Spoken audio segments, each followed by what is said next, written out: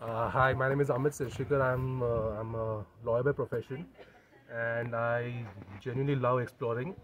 Uh, but this this trip with Planet Way Round was a very different one because this was more of a self drive, going through virgin paths and uh, things which normally people don't reach, and we've gone through them and uh, we've kind of ruled that because we had a convoy of almost uh, 10 car, 10 jeeps, really high power vehicles, and it was just amazing out of the world experience.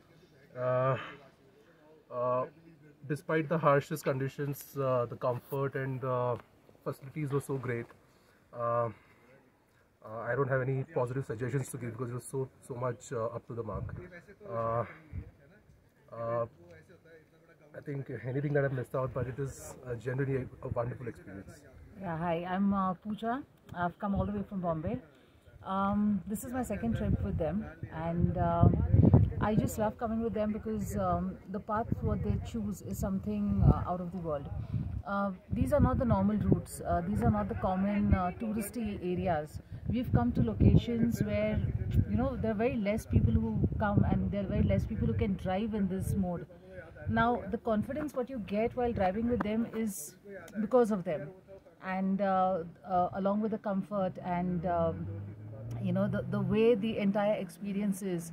Uh, they're in touch with uh, you know we, we are in touch with the nature, and along with that we get a wonderful uh, experience of the drive also. So, if you want the same experience anytime, Planet Way Round. Thank, Thank you.